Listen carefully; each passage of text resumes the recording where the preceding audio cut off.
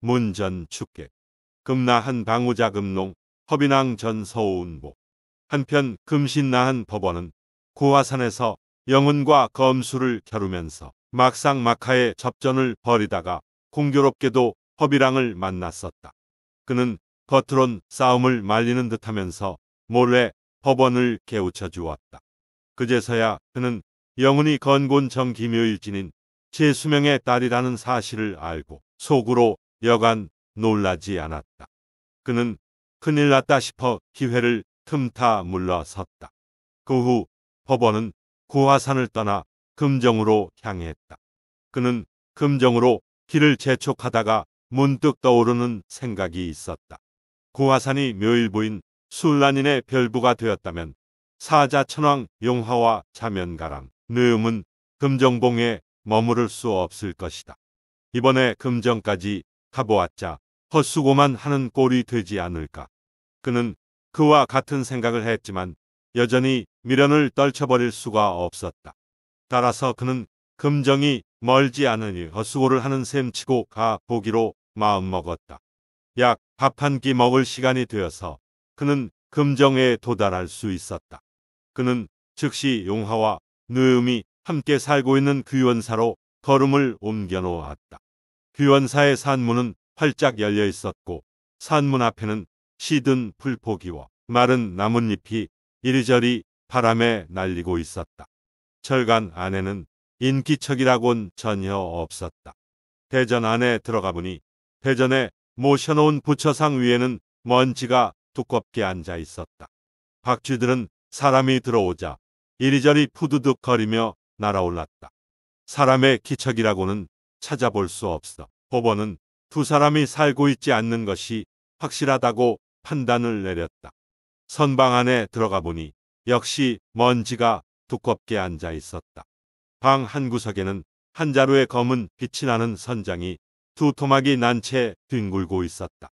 어떤 무기에 맞아 부러졌는지는 알 수 없었다. 원래 그 선장은 순수한 강철로 만든 것이었고 용화가 항상 휴대하고 다니던 무기였다. 법원은 방 안으로 천천히 들어가 사방을 자세히 살펴보았다.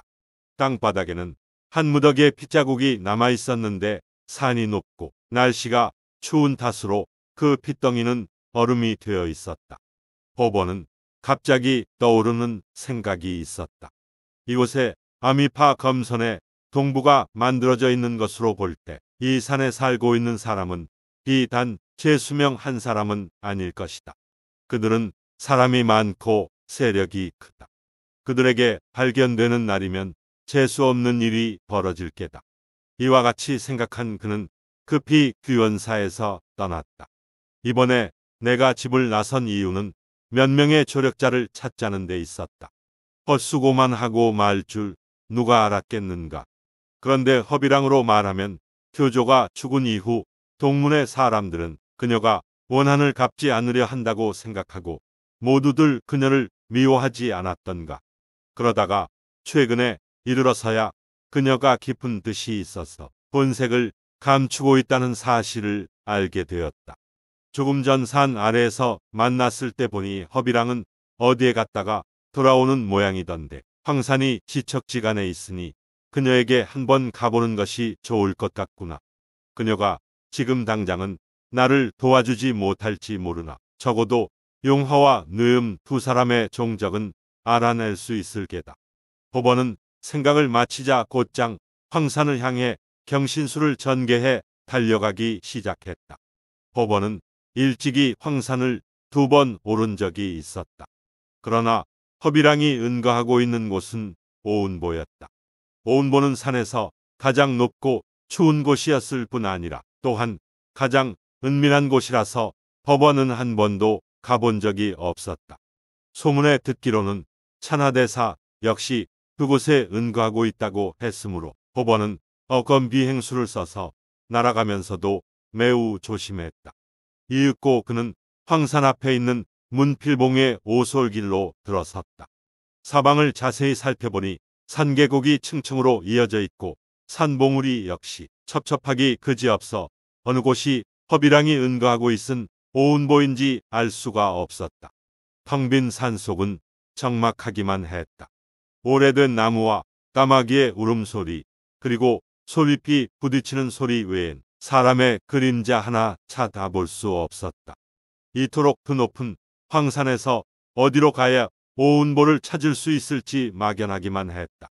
정말 난감한 처지에 놓여 있을 때 갑자기 멀리서 허공을 가르는 미세한 파공성이 들려왔다. 그는 급히 고개를 쳐들고 소리가 나는 곳을 바라보았다. 공중에 한 검은 그림자가 나타났다. 얼핏 보기에 한 나이 어린 동자 같았다. 갑자기 허공에서 무엇인가가 땅바닥에 탁 하는 소리를 내며 떨어졌다.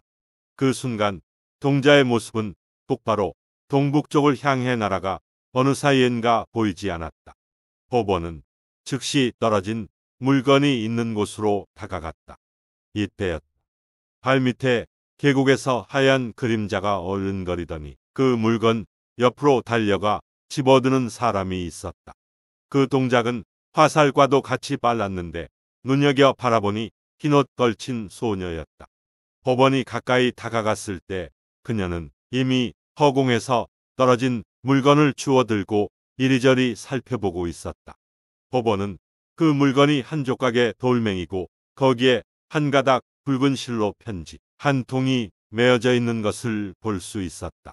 처음에 그는 날아간 자가 그 소녀에게 떨어뜨려 준 것이라고 여기고 별로 주의하지 않았다. 왜냐하면 창산에는 설령들이 살고 있는 동굴이 많았기 때문이었다. 지금 나타난 소녀의 동작이 평범한 사람 같지가 않은지라 더 이상 시끄러운 일에 휘말리고 싶지 않아 몸을 돌려 떠나려고 했다. 갑자기 발밑에 계곡에 나 있는 동굴 속에서 남색 옷을 입은 소녀가 걸어 나오며 말했다. 삼에 손에 넣었느냐? 무슨 물건이지? 한 통의 편지예요. 우리 안으로 들어가서 보기로 해요. 이때 그녀들의 말투나 행동 거지는 법원이 옆에 있는 것을 모르는 듯 방향무인했다. 법원은 문득 어디가 오은보인지 모르고 있다는데 생각이 미쳤다. 두 소녀가 이 산에 살고 있는 걸로 보아 그녀들의 어른은 반드시 보통 사람이 아닌 것 같았다. 그는 슬쩍 말 머리를 돌려 수소문을 해봐야겠다고 생각했다. 그는 앞으로 몇 발짝 나서며 말을 건넸다. 두 분 여시주께서는 잠시 발을 멈추시고 제 말씀을 좀 들어주시오. 빈승이 여쭐 말이 있소이다. 나이가 조금 더 들어 보이는 남의 소녀는 백의 소녀로부터 편지를 건네받으며 입을 열었다. 대화상께선 무슨 하실 말씀이 있으신지요? 황산에 찬하 대사란 분이 계신다고 히더군요. 그분이 어디에 살고 계신지 두 분 시주는 아시는지요? 두 소녀는 법원의 아래 위를 훑어보고 입을 다물었다. 그분은 우리의 사부님이에요. 화상께서는 어째서 사부님을 찾으시는지요? 법원은 그 말을 듣고 속으로 움찔 놀랐다.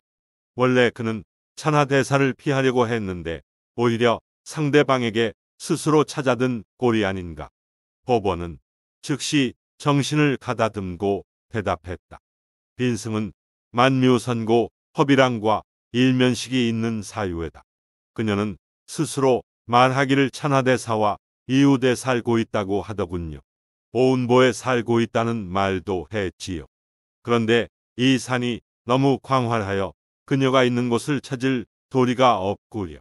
그래서 대사님이 살고 계신 곳을 알아낸다면 자연히 그 옆에 살고 있는 허비랑도 만날 수 있겠구나 하고 생각했던 것이요. 소녀는 이 말을 듣더니 입가에 차가운 웃음을 띄었다. 대화상의 법호는 어찌 되시는지요? 법원으로 말하면 오대파에서는 제법 세도 꽤나 있는 인물이었다. 두 소녀 앞에서 자기의 이름을 숨기다가 나중에 탄론하게 된다면 찬하대사를 두려워해서 자기의 이름마저도 밝히지 못했다는 비웃음을 받게 되겠구나 싶었다. 법원은 즉시 대답했다. 빈승은 법원이라 하오. 남의 소녀는 그 말을 듣더니 웃음을 터뜨렸다. 호호호. 그대가 알고 보니 금신나한 법원이군요. 저는 사부님으로부터 그대의 이름을 들어본 적이 있어요. 그대는 허비랑을 찾을 필요가 없어요. 이것이야말로 그녀가 그대에게 주는 편지가 아니고 무엇이겠어요. 저희 자매 두 사람이 보고 난 후에 그대에게 되돌려 드리도록 하죠. 말을 하면서 그녀는 편지를 쳐들어 보였다. 법원은 그제서야 편지를 똑똑히 살펴볼 수 있었다. 과연 편지 위에는 법원 신사 친전이라는 글씨가 쓰여져 있었다. 법원은 다급해졌다. 그것은 빈승의 사사로운 편지인데 다른 사람이 어찌 볼 수 있단 말이오. 농담은 그만둡시다. 소녀는 그 말을 듣더니 방글에 웃었다. 옛말에 좋은 것은 산 것과 다름이 없으므로 3년이 흐른다 해도 되찾아 갈 수 없다고 했어요. 이 편지는 우리가 좋은 것이지 그대의 절에 가서 훔쳐온 것은 아니란 말이에요. 돌을 닦는 사람은 언제나 광명정대해야 하는 법이죠. 그대는 화상이고 그녀는 도인이에요. 설마 하니 화상과 여, 도인이 남에게 알리기 어려운 부끄러운 일을 저지르기라도 했다는 거예요. 그런가요? 그렇지 않다면 어째서 다른 사람이 보는 것을 무서워하나요? 그대는 우리가 살고 있는 산골짜기를 통과하는 사람이니 반드시 우리의 승인을 받아야 해요. 만약 좋지 못한 뜻을 지니고 이곳에 왔다면 그대는 오기는 쉬웠지만 떠나기는 무척 힘들 것이에요. 호버는 그 소녀가 농담을 하는 건지 아니면 진담을 하는 건지 알아차릴 수가 없었다. 어쨌든 자, 길을 모욕하는 것만은 틀림없는 사실이라 가슴 가득 울화가 치밀어 올랐다. 그러나 그는 감정을 억제하고 생각에 잠겼다. 허비랑이 편지를 써서 나에게 준 데는 그만한 까닭이 있을 것이다. 허비랑과 아미파는 겉으로는 친숙한 것처럼 보이지만 사실상은 그 반대다. 만약 편지에 불리한 말이 쓰여 있다면 자칫 이를 그르칠 수도 있을 것이다. 지금 찬하 대사가 이곳에 있는지도 모르며 함부로 손을 쓸 수도 없구나. 이거 정말 일이 어렵게 됐는걸. 법원은 치밀어 오르는 노기를 억지로 누르고 기회를 보아 편지를 빼앗아 도망치리라고 마음먹었다. 그 소녀는 무척 영리했다. 법원이 슬금슬금 다가서자 얼른 편지를 백이 소녀에게 건네주며 말했다.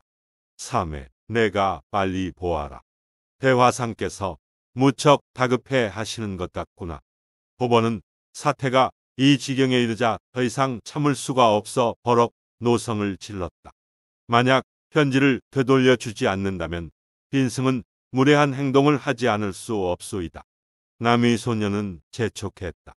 3회 어서 빨리 편지를 뜯고 읽어. 내가 이 화상을 상대할 터이니. 백의 소녀가 편지를 뜯으려 하고 법원이 막 칼을 뽑으려고 했을 때 갑자기 봉우리 뒤쪽으로 한 사람이 날아오며 고함을 질렀다. 두 분, 누님, 손을 쓰지 마시오. 이 불쌍한 사람의 얼굴을 봐서라도 손을 멈춰 주시오. 백의 소녀는 그 말을 듣고 즉시 편지를 뜯던 손을 멈추었고 법원 역시 칼을 반쯤 검집에서 뽑은 채 행동을 멈추었다. 달려오는 사람은 16세 정도로 보이는 소년이었다. 몸에는 검은 옷을 걸치고 있었다.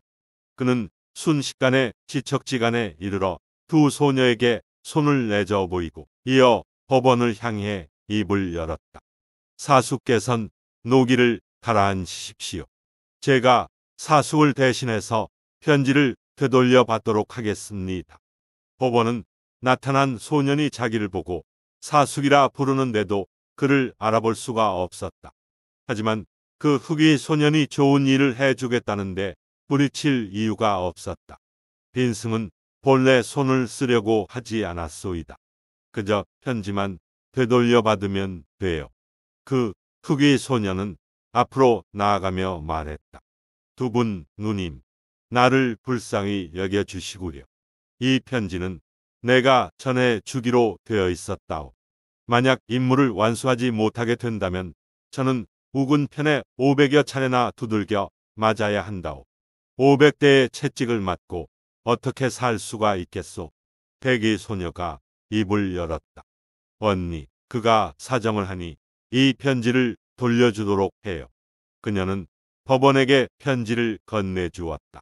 이 사람이 나서서 사정하지 않았다면 오늘 그대는 몸성이 떠나기 어려웠을 거예요. 법원은 울컥 화가 났으나 억지로 심화를 가라앉히고 편지를 받아 품속에 간직했다. 흑위 소년이 입을 열었다. 저의 사부님이 바로 허비랑이십니다.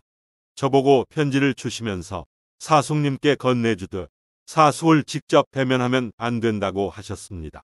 제가 조심을 하지 못해 편지가 두 분 누이의 손에 들어가고 말았던 거죠. 하지만 뜯어보지 않았으니 불행 중 다행이라 하겠습니다. 훗날 저의 사부님을 만나게 되었을 때 사숙께선 이 일을 들먹이지 말아 주십시오. 법원은 고개를 끄덕여 응낙했다. 그리고 두 소녀가 다시 함부로 입을 놀릴까 두려워 발로 땅을 차며 허공으로 날아올라 순식간에 산등성이 너머로 자취를 감추고 말았다. 흑위 소녀는 두 소녀를 향해 다시 고맙다는 말을 했다. 두 분 누님이 나의 체면을 세워주셔서 정말 뭐라고 감사의 말을 드려야 할지 모르겠습니다. 남이 소녀가 입을 열었다. 나는 조금 전 사매와 함께 계곡 아래 동굴 속에서 놀고 있었어요. 갑자기 한 사람이 날아오는 것을 보니 다른 문파 사람이더군요. 나는 그 사람이 누군지 알아내야겠다고 벼르고 있었는데 갑자기 그대가 허공을 날아오더군요. 처음에는 그대가 지난 해처럼 우리들과 놀기 위해 날아오는 줄 알았어요. 그런데 그대가 편지를 떨어뜨리는 것을 보고 얼른 사매가 나가서 편지를 가로챘던 거예요. 이때서야 나는 그 편지가 그 화상에게 가는 것인 줄 알게 되었죠. 그런데 그 자는 바로 사부님께서 가끔 말씀하시던 금신나한 법원이 아니겠어요. 우리는 본래 남의 사사로운 편지를 보려고 한 게 아니었어요. 그저 그와 잠깐 동안 장난을 치고 싶었을 뿐이었죠. 그런데 그대는 금년에는 어째서 우리에게 와서 같이 놀아주지 않는 거죠. 나야말로 이 세상에서 가장 운수가 사나운 사람이랍니다. 부모님을 여의고 온 가족이 참혹한 죽음을 당하였지요. 간신히 지금의 사부님을 만나게 되었고 나는 사부님을 따라 산 위에 올라와 검수를 익히게 되었던 것입니다. 예전에는 사부님께서 종종 나를 데리고 천하대사님을 찾아뵙기도 하고 여러 누이들과 어울리도록 했지요. 그땐 얼마나 좋았습니까? 그런데 작년에 가사께서 외출하셨을 때 저는 갑갑하고 따분한 나머지 누님들을 만나보고 싶어 이리로 달려왔어요. 그 광경을 사제인 설망이 목격하고 사부님께 있지도 않은 일까지 날조하여 고자질을 했답니다. 그 위하여 나는 가사로부터 묵은 편으로 500대의 매를 맞았죠. 그때 하마터면 근고를 못 쓰게 될 뻔했소이다. 수개월 동안 조섭을 한 후에야 비로소 완전히 치유할 수 있었답니다. 그런 일이 있고 난 다음부터 사부님께서는 나에게 심오한 가르침을 베풀어 주시지 않았으며 이곳에 와서 놀아서 또 안 된다고 명하셨습니다. 그리고 매일같이 그저 고된 일과 거친 뒷바라지를 하라고 하셨답니다. 나에 대한 대우는 옛날에 비하면 현격한 차이가 생겼던 거랍니다.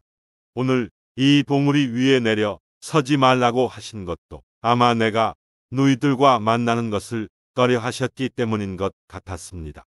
두 소녀는 그 말을 듣고 그를 매우 동정하게 되었다. 그래서 그대가 이곳에 오질 못했었군요. 이때 갑자기 허공에서 한 줄기에 푸른 광채가 번쩍거렸다. 흑위 소녀는 그 광채를 보더니 깜짝 놀라 온몸을 부르르 떨었다. 두 분 누님은 나를 아랑곳하지 마시고 빨리 피하시오.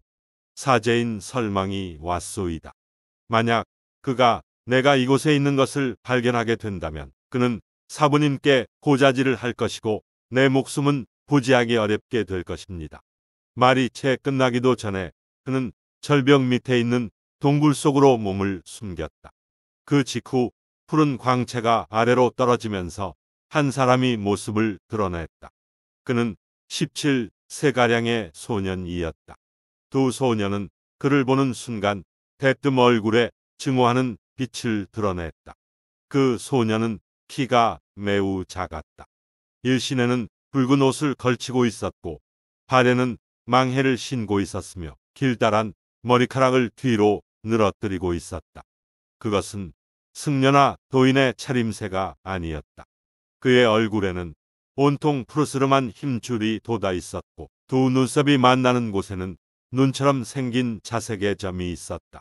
입술은 뒤집어졌고 그 사이로 흰누런 이빨이 드러나 있었다. 진정 추악하기 이를 데 없는 모습이었다. 이 자가 바로 허비랑이 가장 총애하는 제자로서 사만홍의 설망이었다. 설망은 두 소녀의 곁으로 다가오더니 끊임없이 두리번거리며 사방을 살펴보았다. 두 소녀는 그를 아랑곳하지 않고 일부러 상관없는 대화를 늘어놓았다. 마치 방금 동굴에서 나온 듯한 태도였다. 설망은 아무리 살펴봐도 흑이 소년이 보이지 않자 이윽고 동굴에 눈길을 고정시키고 유심히 살펴보기 시작했다. 그러더니 끝내 참을 수 없는지 입을 열었다. 두 분 도우께서는 혹시 나의 사형 사도평을 보지 못했소. 백의 소녀가 뭐라고 말을 하려 할 때 남의 소녀가 먼저 얼른 입을 열었다. 사도평 말이에요. 우리는 그렇지 않아도 그를 찾고 있는 중이었어요. 작년에 우리들과 그가 반 나절 동안 이야기를 한 다음에 그는 우리 경운 사매가 가지고 있던 천운노를 빌어가면서 다시 올 때 돌려주겠다고 했는데 지금까지 아무런 소식도 없어요. 대사께서는 우리 보고 이곳에서 떠나면 안 된다고 분부하셨기 때문에 가서 달라고 할 수도 없었어요. 그대가 그를 만나게 되거든 아무쪼록 천운노를 우리에게 돌려달라고 전해주세요. 그렇게 말하는 그녀의 태도는 너무도 태연자약했다. 설망은 사도평이 이곳에 온 것이 아닌가 의심했으나 증거를 찾을 수가 없자 중얼거리듯 말했다. 나는 분명히 붉은 빛이 서남쪽으로 날아간 것을 보았는데 어째서 그가 보이지 않는 거지. 남의 소녀는 의아한 표정을 지었다. 붉은 빛이라니 무슨 말이에요. 혹시 그 여검선이 황산에 나타났단 말이에요. 설망은 대답하지 않고 불쾌한 표정을 짓더니 몸을 획 돌리며 성큼성큼 걸어갔다. 남의 소녀는 불쾌한 어조로 입을 열었다. 저 사람 좀 봐. 자기는 물어보면서 나의 질문에는 대답조차 하지 않잖아. 정말 어처구니가 없군. 설망은 그 소녀가 투덜거리는 소리를 들었으나 짐진 못 들은 척했다. 남의 소녀의 그 말을 듣고 설망은 사도평이 이곳에 없다는 확신을 가지게 되었다. 그는 곧 다른 곳으로 사형을 찾아 떠나갔다. 두 소녀는 설망의 모습이 사라진 연후에야 사도평에게 불 속에서 나오라고 했다. 그대의 사제가 갔어요. 이제 그대도 돌아가세요. 사도평은 동굴에서 걸어 나오며 입을 열었다. 나와 그는 앙숙이랍니다. 그는 전문적으로 나를 괴롭히기 위해 태어난 사람 같답니다. 가사께서 나더러 편지를 전하라고 하셨을 때 그는 일부러 내 뒤를 미행하여 나의 잘못을 찾아내려고 했던 모양입니다. 그대는 돌아가도록 하세요. 만약 부득이한 사건이 발생하게 된다면 우리에게 도움을 청하도록 하세요. 오늘 밤 내가 사부님께 그대의 이야기를 해드리겠어요. 남의 소녀의 말에 사도평은 고개를 끄덕였다. 이미 날도 저물었으니 더 이상 남아 있을 수도 없구려. 두 분 누님의 은혜는 정말 잊지 않겠소이다. 말이 끝나자 그는 허공을 가로질러 날아갔다. 이 두 소녀 가운데 나이가 어리고 흰옷을 입은 소녀는 바로 찬하대사의 제자인 주매였다. 그리고 나이가 많은 남의 소녀는 오문기로서 찬하대사의 대제자였다. 그녀는 주경훈보다도 먼저 입문했다. 검법을 매우 심오한 경지까지 수련하였으며 찬하대사의 절기를 대체로 전수받은 상태였다. 그녀의 어건비 행술은 그야말로 자취를 찾을 수도 없을 정도로 빨랐다. 번개를 방불케 했으므로 사람들은 그녀를 여공공이라고 불렀다. 문필봉은 바로 찬하대사가 그녀에게 건법을 연마하도록 지정해준 장소였다. 대사는 추매를 시켜 오문기가 지니고 있는 여의 신모를 얻어다가 금선을 도와 사요를 죽이라고 했던 것이다. 여의 신모를 비는 일에 대해 이야기하고 있을 때 법원을 만나게 되었고 이와 같은 사건이 발생하게 된 것이었다. 별로 대수로운 일은 아니었지만 훗날 허비랑이 사용한 백령 참선검과 이번의 사건은 큰 관계가 있다. 이때 법원은 문필봉을 떠나 운소를 돌아 조용한 곳으로 찾아 들어갔어 편지를 뜯어보았다. 편지에는 다음과 같은 글이 쓰여져 있었다. 검수를 아직 완벽히 연마하지 못했으므로 얼마 동안은 도와드리기가 힘듭니다. 6월 선사께서 서쪽에서 오셔서 연화봉에 있는 자금농의 절경에 흠뻑 매료되시어 그곳에 머물고 계십니다. 그분께 가셔서 도움을 청해 보십시오. 다른 사람보다 훨씬 커다란 도움을 베풀 것입니다. 그럼 다시 만날 날을 기약하며 아는 사람으로부터 법원은 편지를 읽고 난 다음 크게 기뻐했다. 그렇지 않아도 효월 선사를 찾아갈 참이었는데 마침 이곳에 계셨군. 타전로까지 가는 헛수고를 던 셈이로군. 그는 편지를 품속에 간직하고 즉시 연화봉을 향해 달려갔다. 연화봉과 천도봉은 황산에서도 가장 높은 봉우리였다. 자금농은 연화봉에서 얼마 떨어지지 않은 곳에 있었으며 경치가 그윽하면서도 운치가 있었다. 과거 천심도인이 이곳에 은거한 적이 있는 곳이었다. 법원은 연화봉의 위치를 잘 알고 있었다. 입설대를 올라가 다시 백보운제를 건너 형태가 자라처럼 생긴 동구 입구를 가로질렀다. 묻봉우리들은 높고 장엄했으며 안개가 사방에 자욱히 깔려 있어 정말 별천지를 이루고 왔었다. 날은 이미 어두워지고 있었다. 갑자기 앞쪽에 앙상한 나무들이 빽빽히 늘어선 숲이 나타났다. 그 숲 중앙으로 한 폭의 흰 비단 폭이 가로지르고 있는 광경이 눈에 들어왔다. 법원은 그와 같은 현상을 일컬어 운포해라고 부른다는 사실을 알고 있었다. 몽롱한 안개가 뭉쳤다간 흩어지고 하는데 그 모습이 흡사 하얀 비단폭을 펼쳐놓은 듯이 보이는 것이었다. 이때 무산 봉우리들은 하얀 구름 위로 뾰족 머리를 내밀고 있었다. 그 모습은 마치 대고궁지 위로 수십 개의 옥농이 삐죽삐죽 솟아있는 것 같아서 매우 보기가 좋았다.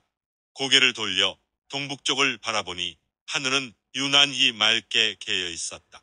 서편 하늘을 살펴보니 붉은 해가 중앙의 가장 높은 봉우리 위에 얹혀 있었는데 그 모습은 걸려 있는 것도 같고 산봉우리에 의해 떠받쳐져 있는 것 같기도 했다. 진정 인간 세상에서 가장 아름다운 황홀한 경관을 보여주고 있었다. 허부는 잠시 대자연의 아름다움에 취해 있다가 정신을 차리고 앞으로 걸음을 옮겨놓기 시작했다. 그런데 구름은 갈수록 짙어져 가기만 했고 맞은편은 그저 허옇게만 보였다. 그 때문에 산 바위 사이로 나 있는 길을 알아볼 수가 없었다. 더구나 자금농은 산세가 험하기로 이름이 나 있었다. 산길 아래로는 깊이를 알 수 없는 깊은 골짜기였다. 골짜기 밑에는 날카롭게 모가 난 바위들이 어지럽게 널려져 있었다. 그 난석더미들은 길이가 무려 1장이나 되었을 뿐만 아니라 하늘을 향해 무섭게 곤두서 있었다.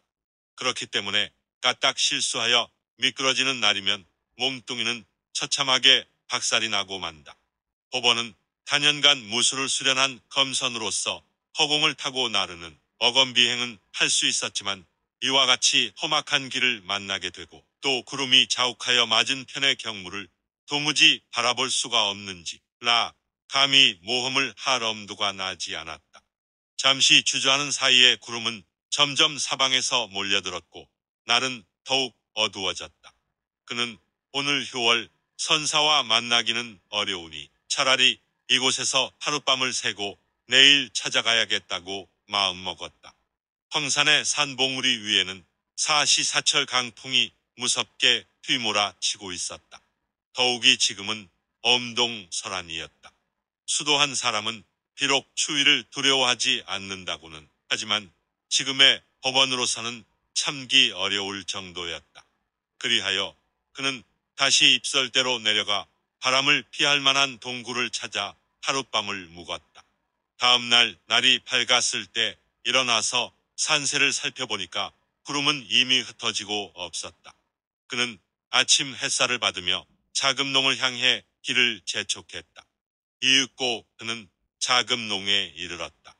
자금농의 양쪽은 천야마냐의 절벽이어서 보기만 해도 현기증이 일어날 지경인데 두 개의 절벽 사이로 백사강의 물줄기가 떨어져 내리는 큰 폭포가 걸려 있었다. 폭포물이 떨어지는 음향은 천둥 소리처럼 굉장했으며 떨어지는 기세는 벼락이 치는 것 같았다. 법원으로서는 효월선사가 어디에 머물고 있는지 알 수가 없었다. 법원은 사방을 자세히 살펴보았다. 호련 폭포가 떨어져 호수를 이룬 저 건너편의 한 명의 소사미가 등에 커다란 물통을 짊어지고 걸어가고 있는 모습이 눈에 들어왔다. 그 소사미의 행동은 상당히 민첩했다. 소사미는 날듯 경쾌한 걸음걸이로 개울가에 이르더니 맑은 개울물을 물통에 길었다. 둑과 개울물을 수장의 간격이나 떨어져 있는데도 소사미는 둑 위에 있는 커다란 바위 위에 올라서서 커다 난 물통을 강물의 상류 쪽을 향해 휘둘렀다. 그러자 즉시 물통 안에 물이 가득 담겨지는 것이었다. 두 통에 담긴 물의 무게는 적게 잡아도 200여 근은 넘음직한데 소사미는 조금도 힘을 들이지 않고 어깨에 메고는 발로 바위를 가볍게 차며 언덕 위로 달려가기 시작했다. 그의 동작은 빠르고도 깨끗했다. 이때 물통 안에 담겼던 물은 한 방울도 흘러넘치지 않았다. 호버는 자기도 모르게 큰 소리로 갈채를 보냈다. 소사미는 뒤에서 멋지구나 하고 외치는 소리를 듣고는 두 개의 물통을 가볍게 땅 위에 내려놓더니 발로 살짝 땅을 차며 7, 8장이나 되는 게 물을 가로질러 날아왔다. 그 모습은 진정 비조 같았다. 소사미는 법원의 앞에 내려서더니 노한 음성으로 말했다. 이봐요. 그대는 갈 길이나 갈 것이지 왜 터무니없이 소란을 피우는 거요. 그대는 우리 사형이 병이 났다는 사실을 모른단 말이오. 법원은 소사미를 자세히 바라보았다. 벌처럼 잘록한 허리에 넓은 어깨, 청수한 얼굴을 지니고 있는 소사미는 버선도 없이 다만 한 쌍의 마해를 신고 있을 뿐이었다. 그의 두 눈동자에서 형형한 광채가 빛나고 있는 걸로 보아 뇌외궁이 이미 상승의 경지에 이른 듯했다. 호버는 그의 말을 듣고 매우 불쾌했다. 내가 어쩌다가 이 며칠 동안 함부로 짓걸려대는 사람들만 만나게 되었다지. 더구나 모두가 애송이 녀석들이라니. 혹시 이 소사미는 교월선사의 제자가 아닐까? 그렇다면 함부로 행동하면 안 되지. 호버는 생각을 마치고 소사미를 향해 점잖게 말했다. 나는 그대 같은 젊은이가 그토록 뛰어난 무공을 지닌 것을 보고 매우 탄복했소이다. 그리하여 나도 모르게 탄성을 지르게 되었소이다. 그대의 사형이 누구이며 또 어떤 병에 걸렸는지 나는 알고 있지 못하외다. 그러니 너무 나무라지 마시구려. 사람을 보자마자 꾸짖기부터 해서야 쓰겠소. 흥, 시침이 떼지 마시오. 이곳에는 외부 사람이 얼씬거려서는 안 된단 말이외다. 나는 진작부터 그대가 이곳에 와서 사방을 두리번거리는 모습을 지켜보고 있었소. 지금 우리 사부님께서 집에 계시지 않는 틈을 노리고 우리의 보배를 훔치러 온 게 아니란 말이오.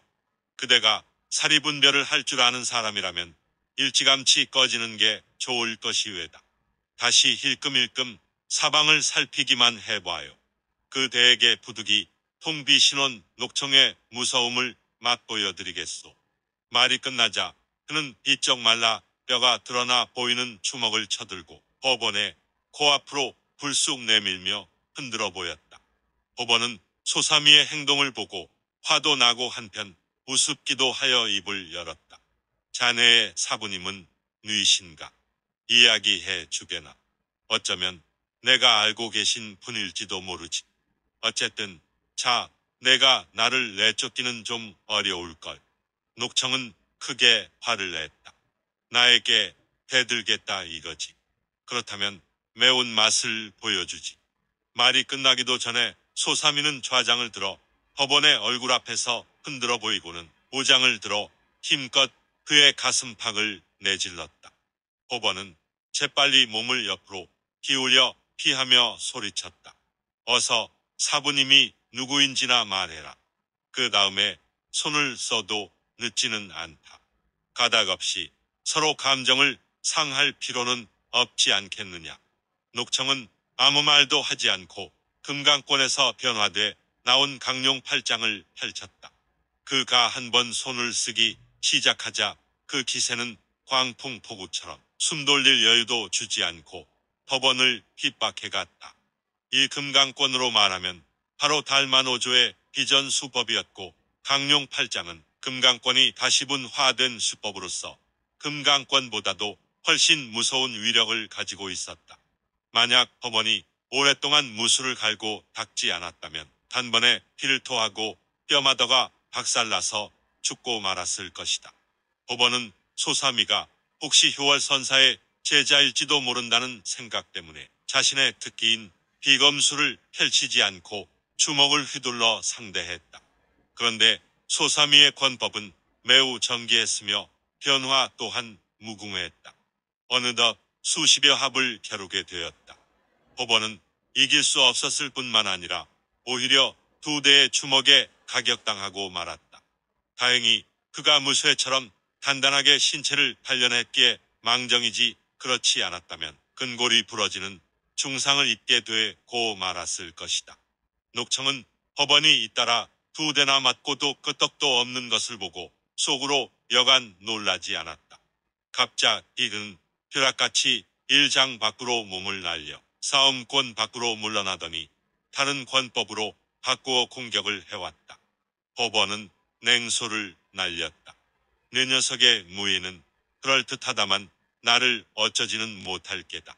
법원은 상대방이 지치기를 기다려 지난 날 자신이 명성을 떨치던 7조 타 공권을 펼쳐 녹청을 사로잡을 생각이었다. 녹청이 교월선사의 제자라면 그를 앞장 세우고 교월선사가 있는 곳으로 갈 참이었다. 선사가 있는 곳으로 갈 참이었다. 만약에 녹청이 교월선사의 제자가 아니라면 자질이 뛰어난 소년이니만큼 제자로 삼아야겠다고 생각했다. 법원은 부쩍 힘을 돋구고 녹청을 상대했다. 녹청은 승리할 수 없게 되자 일부러 슬쩍 빈틈을 노출시켰다. 무릎을 굽히고 허공 높이 몸을 솟구친 것이다. 법원은 그가 밑으로 떨어지기를 기다려 발목을 움켜잡으려고 했는데 녹청은 법원의 마음속을 헤아려 보고 있었다. 땅에서 다섯 자 정도 떨어져 내릴 때 녹청은 금강권 가운데서도 가장 위력 이 무시무시한 초식을 힘차게 전개해냈다. 즉 허공에서 몸을 빙글 돌려 이어양용 문식을 써서 법원이 내밀어오는 두 손을 슬쩍 피하는 동시에 철장을 좌우로 확 벌리듯 밀어내고 왼손에 두 손가락을 한데 모으더 네 법원의 오른쪽 눈알을 향해 찔러갔던 것이다. 법원은 상대방의 공세에 살기가 담겨 있는 걸 직감하고 가슴이 철렁 내려앉았다. 그는 즉시 상체를 뒤로 젖히고 수평으로 몸을 날려 상대방의 손가락 공격을 번개처럼 피해냈다. 녹청은 재차 벼락 같은 공세를 펼쳐냈다. 어느샌가 그는 오른손으로 궁권의 수법을 써서 법원의 아래턱을 강타하고 있었다. 고지어 녹청은 당리연환이라는 수법을 써서 움츠리고 있던 다리를 번개처럼 뻗으며 법원의 가슴팍을 내질렀다. 그리고 그 반탄력을 빌어 비스듬히 3, 4장 밖으로 떨어져 내렸다. 그는 우뚝 서서 법원을 바라보며 큰 소리로 웃음을 터뜨렸다. 법원은 비록 당당한 고수였지만 의표를 찔린 나머지 상대방에게 연거푸 두 차례나 얻어맞게 돼 자 술 취한 사람처럼 비틀거리며 뒤로 십여 걸음 물러섰다. 이렇게 되자 법원은 그만 울화가 치밀 어 크게 부르짖었다. 이 짐승 같은 자식. 정말 하늘이 얼마나 높고 땅이 얼마나 두터운지 모르는구나. 이 금신나한 나으리는 내가 나이가 어리다는 점을 감안해서 너에게 상처를 입히지 않았거늘 내 놈이 비겁하게 속임수를 써서 나를 때려. 너는 빨리 사부의 이름을 대라. 그렇지 않다면 너는 죽음을 면치 못할 것이다. 말이 끝나기도 전에 그는 자기 뒤통수를 탁 뿌려쳤다.